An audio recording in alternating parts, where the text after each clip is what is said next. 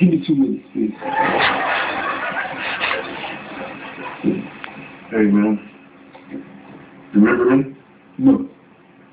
The Prius. No. The blue spot? No. You didn't me. No. I walked away.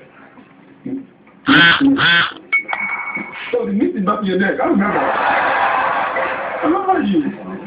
Blue brother. Yeah. Yeah. Yeah. Okay. Argument. Yeah. Uh, I, I came down here to apologize for how things went. All right. Um, turns out you didn't dent my car. Of course I did it. And if I did, I'm not responsible. Who did the car? My daughter. Hey! What did you do? Fire hydrant. Hey! Let me get this straight.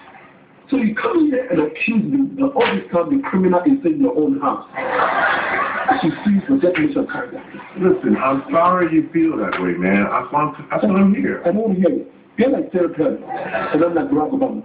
And your daughter, she's George Bush. Everything that's all. The way they play, me, the black man. Why are you talking about my daughter? She ain't got nothing to do with this right You here. mean it? Looking at I can't drive. I have 13 daughters. It's off to drive. What's wrong with you? Responsibility for her actions. Don't you take responsibility for yours? I don't have to. I'm not anything. I read this to you. Pursuant to law, operators liability for loss on damages to vehicles by fire. Yeah. Okay. Yes. Explosion. Okay. Boom. Yeah. Okay, look, look, I know, all right, I know. How can you open a business and then write on a piece of paper that you have no idea what you're doing and then do it anyway?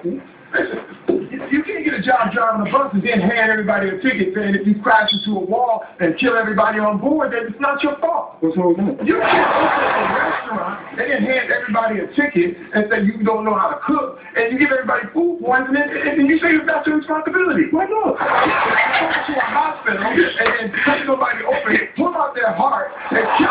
and they're having my chicken saying, you, you don't have any responsibility. Let me see you a little bit of Africa.